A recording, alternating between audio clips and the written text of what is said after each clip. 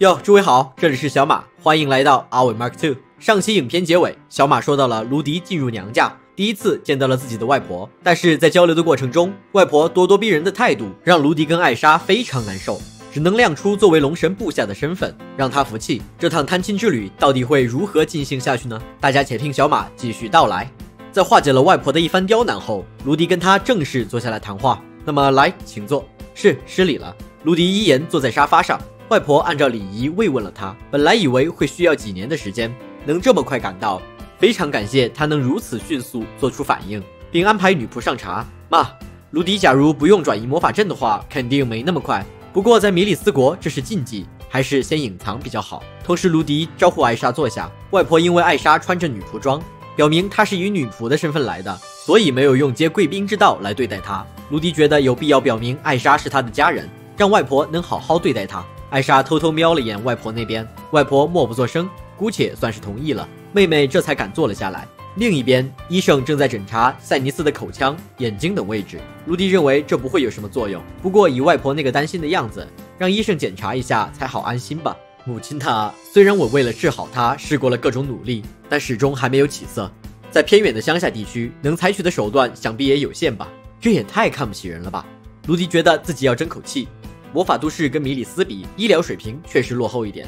但负责赛尼斯病情的是七大列强第二位、精通世界上所有技术的龙神，以及三英雄之一的甲龙王。因为七大列强都已经退居幕后，龙神的名字并没有唬住外婆。但听到甲龙王的名字，他显得非常震惊。可这也是卢迪狐假虎威，在赛尼斯的病情上，甲龙王并没有给他什么帮助。反正大家都认识，就先记个名头呗。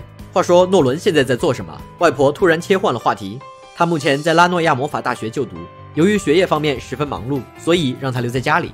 我以为他是个做事不太懂要领的孩子，有好好在努力吗？是的，他现在是学生会长，站在学生的顶点。卢迪故意说的夸张一点，希望他能够重视诺伦。外婆紧接着询问诺伦毕业后的打算，有没有婚事？卢迪回复这些都还没决定。外婆用不由分说的语气说：“那么毕业后就把他带过来。”卢迪觉得这也没什么，诺伦确实该来一次米里斯。但之后的话就让他懵了，在那种穷乡僻壤，也不会有什么满意的对象吧？由我来妥善安排，啥意思？安排婚姻这种事情不该由诺伦自己决定吗？你在说什么？让家里的女性结婚也是当家的职责吧？是这样吗？卢迪看了一眼艾莎，他耸了耸肩，仿佛在说：难道不是这样吗？在这个世界，包办婚姻是很正常的事情。像卢迪这样让小贝自己做主，反而会被当成不负责任的行为。不过，卢迪希望诺伦能自由的生活。为了应付外婆的质问，他回复会负责照顾到最后的。我明白了，毕竟你是当家，可要振作点啊。卢迪对这种上下斥责的语气非常不爽，但事前早就听说了，外婆是个固执古板的人，这都还在接受范围内。只要还能交流，就一定能达成共识。医生对赛尼斯的出诊结束了，他告诉卢迪，赛尼斯的身体比他听说的年龄要年轻很多。卢迪猜测，这可能是因为诅咒的影响。医生接着询问了一些赛尼斯平时生活的情况，很有问诊的感觉。卢迪逐一回答，不知道的地方就由艾莎补充。全都完毕后，医生走到外婆身边商量起来：“如何？我想只要派一名负责照顾的女仆在旁边看着，应该是不成问题。小孩呢？由于有月事，我想应该有办法生育。很好。”卢迪感觉很奇怪，外婆这说法好像打算让母亲再婚。没想到外婆露出了冰冷的视线。以一股强迫不容分说的意志说道：“在米里斯神圣国，女人的价值就在于有无办法生育。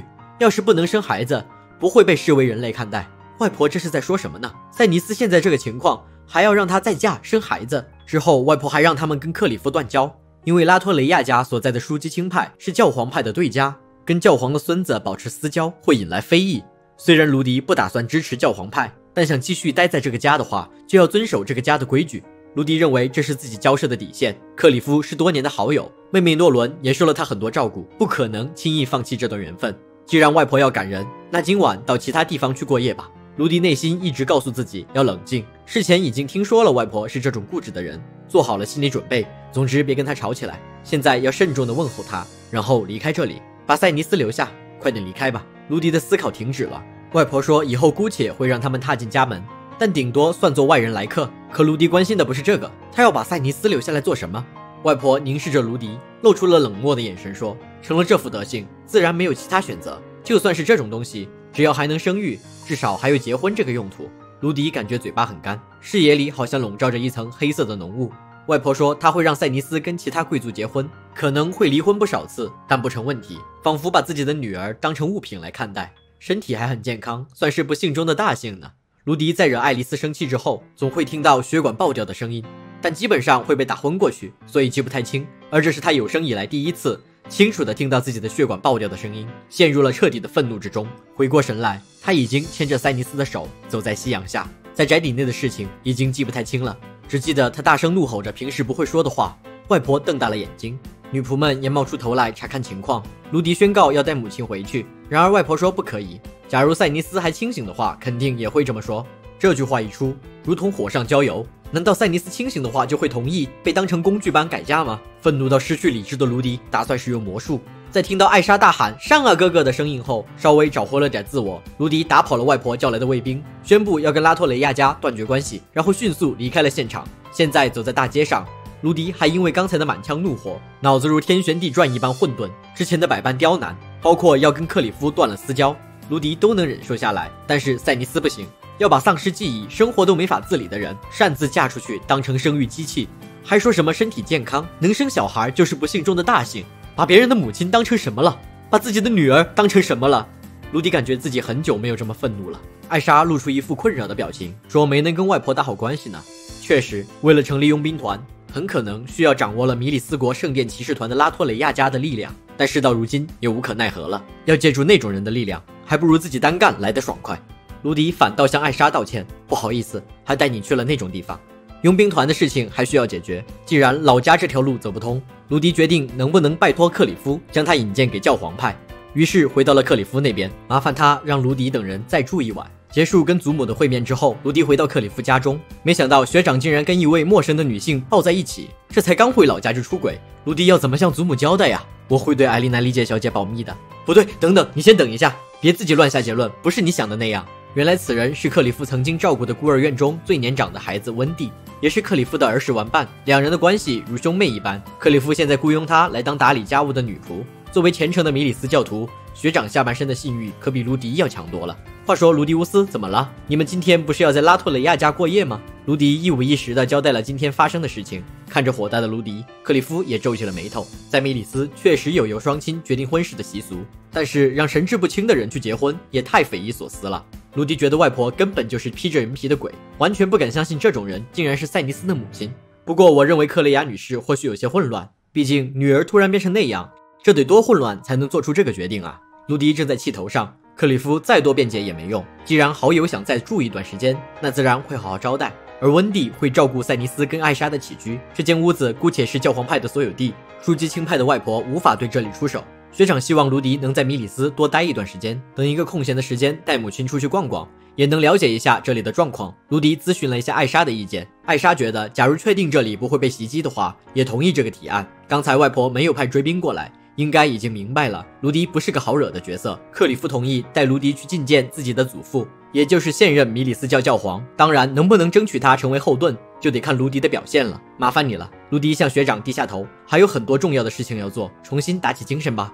隔天吃完早餐后，艾莎跟赛尼斯负责看家，卢迪跟克里夫则前往了教团总部。米里斯是建筑设计极其发达的城市，不仅仅是贵族区，平民区也装扮得十分漂亮，有很多银色与白色的建筑，显得非常静谧。而这座金碧辉煌的教团总部却与周围格格不入。在卢迪眼里，品味非常糟糕，一股恶臭的铜臭味传递了出来。想必这里面的人也是一群权力大到不需要做表面功夫的家伙。可既然要进行政治交涉，就要做好跟黑心政治家谈判的心理准备。卢迪提起了满满的干劲，复习自我介绍的演讲词。不料在教皇工作的建筑前，卢迪被拦了下来。不好意思，不能让没有通行证的人进入。好像过去因为克里夫是小孩子，所以守卫就睁一只眼闭一只眼的让他进去了。可成人就需要通行许可证。不过克里夫拥有神父的证书，办理临时通行证并不麻烦。克里夫一脸愧疚的让卢迪在附近先等一下。我知道了，反正我也不急，你就慢慢来吧。目送走入门内的克里夫后，卢迪打算在这片区域逛一逛。他一边反省应该提早预约跟教皇见面才对，一边走进了教团花园中。刚好到了春天，有很多美丽的花朵绽放。然后听到了喧闹的声音，快看，樱花盛开耶！是的，非常漂亮呢。神子大人真的与樱花非常适合。呜呼！